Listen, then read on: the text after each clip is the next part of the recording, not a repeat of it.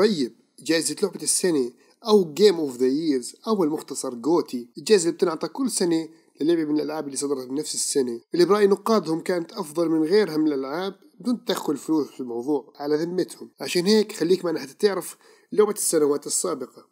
لا مش ظابطة هيك. ألعاب السنين الماضية. برضو مش ظابطة. المهم آه راح نكمل الفيديو يلا.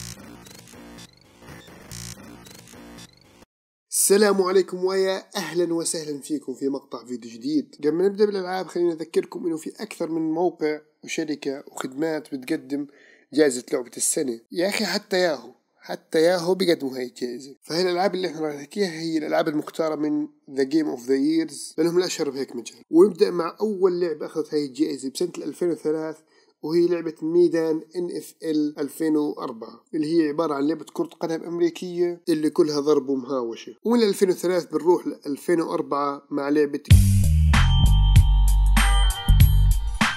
لو كانت حصرية لل PlayStation 2 ببدايتها لمدة 6 أشهر قبل ما تصدر على ال PC وعلى ال Xbox. طبيعي Grand San Andreas يعني كيف ما تأخذ جائزة السنة. وسنة 2005 ربحت معنا الجائزة هي لعبة Resident Evil 4 اللي كانت موجودة على كل من PlayStation 2 وال GameCube والانتقال سنة 2006 مع جزء الرابع من The Elder Scrolls اللي كان بعنوان Oblivion اللي كانت حصرية على ال Xbox 360 وال PC. انتقال سنة 2007 اللي كان برضو عندنا لعبة BioShock اللي هي حصرية لل Xbox 360 وال PC. وال 2008 رجعت سلسلة حرامي السيارات أو في رواية أخرى Grand أو في رواية أخرى GTA بجزءها الرابع. بعديها بنروح سنة 2009 واللعبة اللي أخذت جائزة لعبة السنة كانت لعبة Uncharted حصرية ال PlayStation 3 بعد 2009 اجينا بال 2010 ورجعت Rockstar مرة ثانية وأخذت لقب لعبة السنة للمرة الثالثة ولا الرابعة بتاريخها مش عارفين. مع لعبة Red Dead Redemption اللي كانت موجودة على ال PlayStation 3 وال Xbox 360 وال 2011 بتروح الجائزة للعبة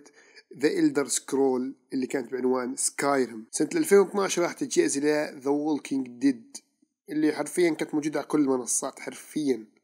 كانت موجودة على PC على PlayStation على Xbox يا أخي حتى موجودة على الجوالات تخيل لوين. وبنرجع سنة 2013 مع الجزء الجديد من لعبة Grand Theft Auto اللي كان بعنوان 5 اللي زي ما كنا بنتذكر كانت اللعبة حصرية على أجهزة ال console بعدها انطلقت لل PC و شوفنا Grand الحياة الواقعية. في سنة 2014 أخذت الجائزة لعبة Dragon Age اللي كانت متوفرة على كل المنصات وقتها. ومن 2014 بنروح لسنة 2015 مع اللعبة الأسطورية The Witcher 3 Wild Hunt وإذا وصلت لهون فواضح إنه الفيديو عاجبك. ما راح تخسر إشي إذا ضغطت على زر ال like واشتركت بالقناة. ويلا نكمل بالفيديو. وال 2016 أول ظهور لأول لعبة أونلاين بجائزة لعبة السنة كانت من نصيب لعبة Overwatch وبال 2017 بترجع لنا شركة Nintendo بعد آخر ظهور لها بسنة 2005 بجزء الجديد من لعبة The Legend of Zelda اللي كان بعنوان Breath of the Wild لتأخذ لعبة السنة لسنة 2017 وانتقال لسنة 2018 اللي كانت عندنا لعبة God of War 4 حصرية ال PlayStation 4 وأكيد كلنا عارفين إنه سنة 2019 الجائزة راحت للعبة Sekiro وتعالوا أعطيكم شوية إحصائيات عن الجائزة. أكثر شركة حصلت على جائزة لعبة السنة كانت هي Rockstar بمجموع أربع ألعاب اللي هم GTA San Andreas و